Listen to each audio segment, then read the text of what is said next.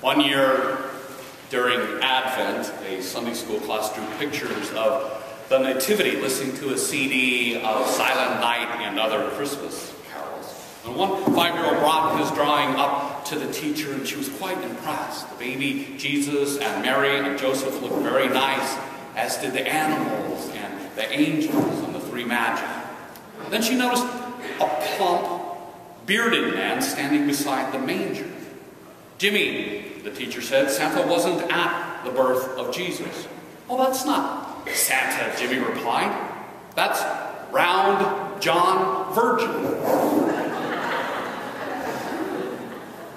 well, in, in, fairness to that little tyke, I, I need to disclose it. For the longest time, I thought round John Virgin was round young virgin in reference to Mary's tummy.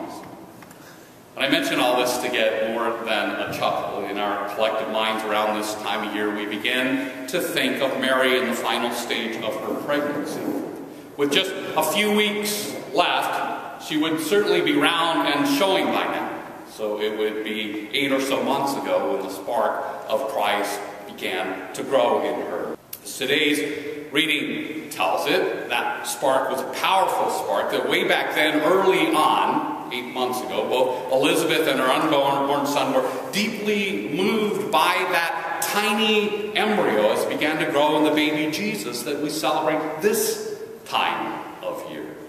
And in the verses that follow today's reading, right after Elizabeth and John respond to the embryonic Christ, Mary sings aloud her amazing song that we call the Magnificat, which we'll be talking about next week when we lift up Mary and that beautiful song.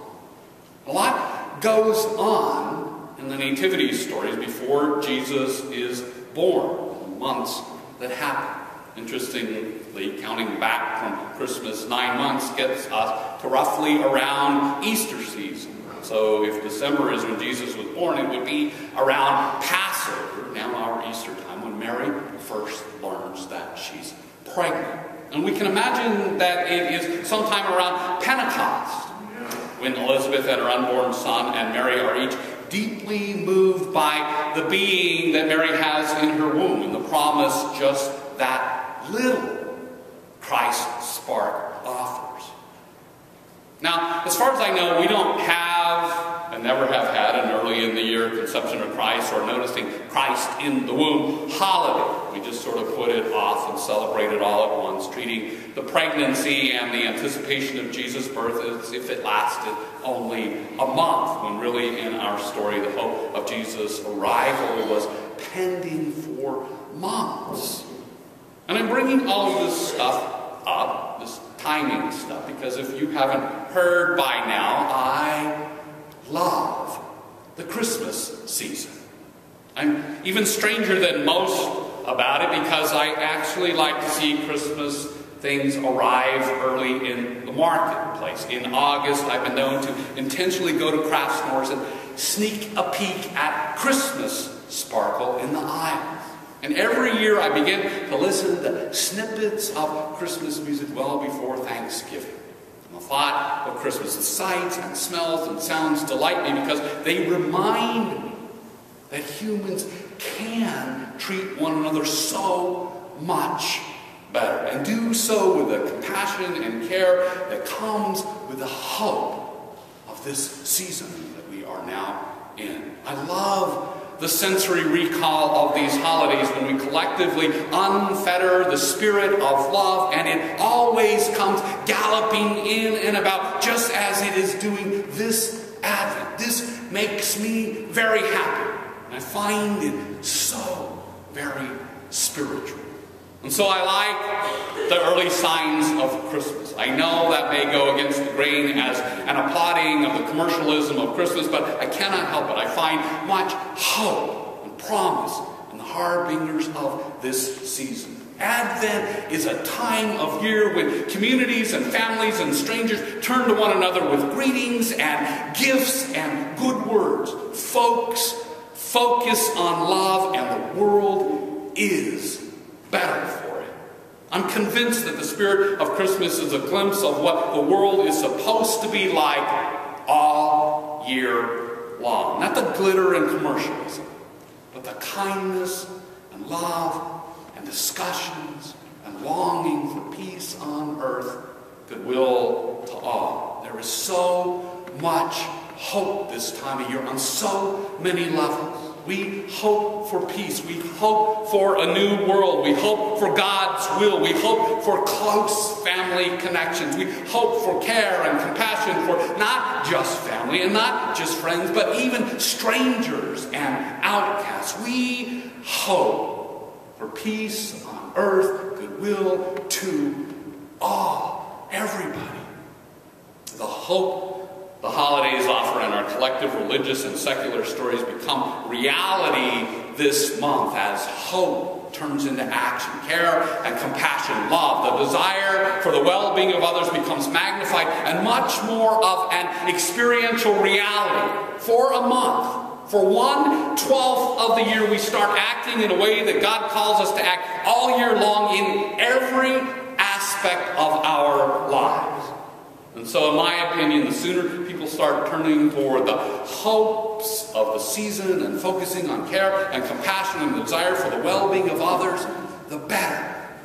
What would happen if we actually celebrated the hope and the promise of Christ's arrival for, from the calendar time of Jesus' conception until Christmas? Nine months of anticipation and focus on love. How much more would be given to the needy and the imprisoned? Many more visits and songs would be shared with shut-in elderly folks? How more, much more focused and important might family be nine months instead of one?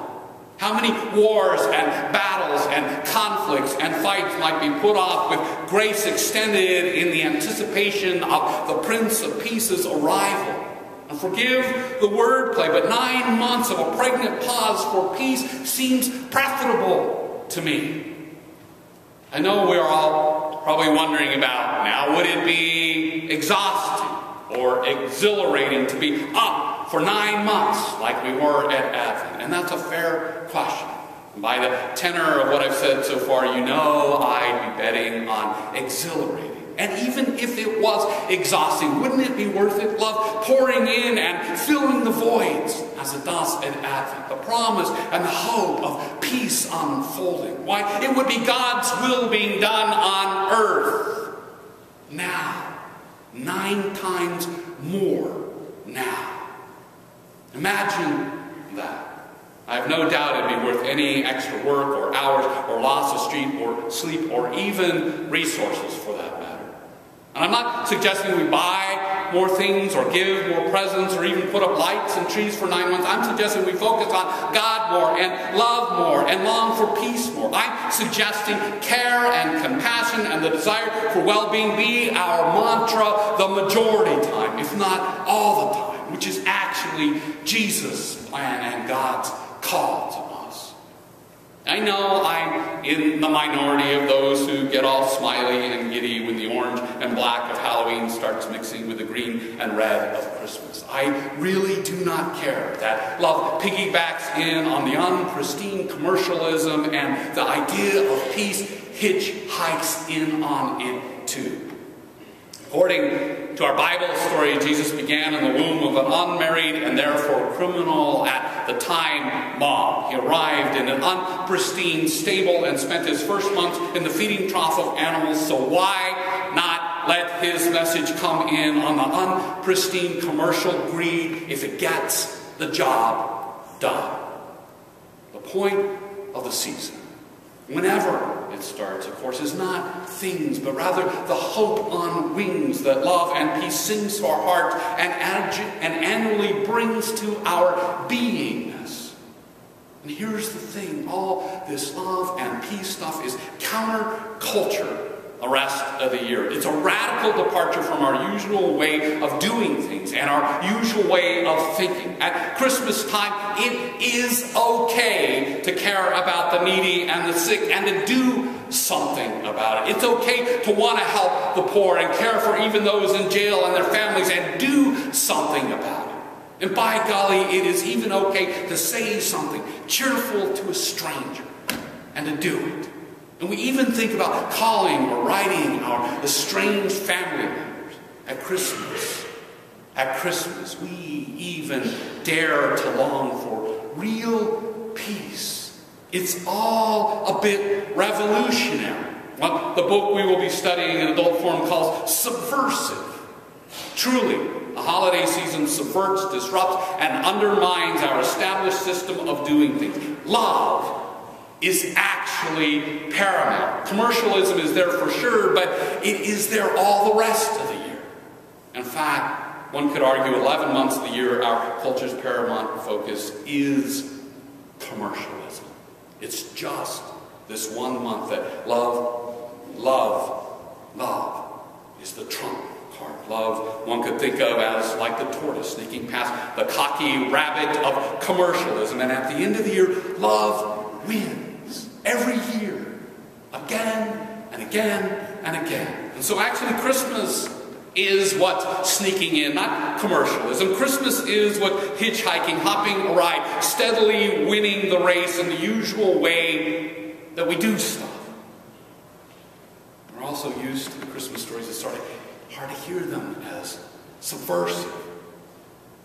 In full form, we'll be looking at this type of stuff in depth from now through the 12 days of Christmas. But we don't have to dig too deep to see some of the radicalness of this season. I just went on and on about how it makes love paramount, shakes us up each year to be a bit more like we're supposed to be the rest of the year. And this is not some modern liberal commie plot. The Christmas story began as a far more subversive text than it is today. It was, it was more subversive because the world was an even harsher place. Today, we almost take it for granted that the non-powerful have rights, that slavery is bad, that mistreating others because of the way God made them is awful. And that wasn't the case in first century Rome. A whole lot of folks were expendable to the powerful, and only a very, very few were powerful. It was a much crueler world in many respects. And you see, the Christmas story was initially intended as a challenge to the powerful, like Herod, Rome's appointed king of the Jews. It's no accident that the Magi honor Jesus, not Herod, or that Joseph and Mary, with God's help, outsmart Herod. Consequently, the real king of the Jews, the Christians, is not only born, but lives on to be the light of the world. In the Christmas story, God opposes Rome's appointed king and love wins. The Christmas stories further challenge Caesar. Before Jesus, Rome's declared son of God, Caesar Caesar was called Lord and Prince of Peace and Savior of the world. Those were names given to him. But in it, but it is Jesus a peasant baby, not Caesar, whom God and the people in the stories declare as the real Son of God, the real Prince of Peace, the real Lord, the real Savior of the world. And we do so today. Christmas stories and the Gospels pit God's non-violent way to peace through Jesus against the violent way through Rome, over and over and over again. And so, you see, the Christmas stories were revolutionary in the truest sense of the word. The gospel writers and the early followers of Jesus were choosing and they were promoting God's way of doing things over and above earthly ways of doing things. It's remarkable that every single year we make the subversive choice of doing stuff more God's way than Rome's way. And there's so much hope in that. We celebrate, we lift up, we joyfully laud the way of Jesus' revolution of love and compassion. We walk on the road toward peace on earth, goodwill to all. This time of year, we hold up the wonderful, the mystical, powerful nativity stories and we embrace them and the result is that love flows and peace on earth, goodwill to all becomes our collective expressed wish. And like I said, I want it to last more than a month. And I will take as much of it any way I can get it, even if it rides in early in stores and in commercials. At any rate, I am delighted to declare officially that Advent is here. Advent, the time of year when we can hear and taste and smell and touch and feel more of heaven actually breaking in And it all started with the conception of Christ by a teenage girl 2,000 years ago and came to fruition with the birth and life and death and resurrection of her child. God's child, the one we Christians know as King of the Jews, Son of God, Lord, Prince of Peace, and Savior of the world, the one Mary and Joseph named Jesus. The one we name Christmas after and follow more closely in Advent. A very holy, holy, closer to God time of year. And let us hope the spirit of Christmas one day does indeed last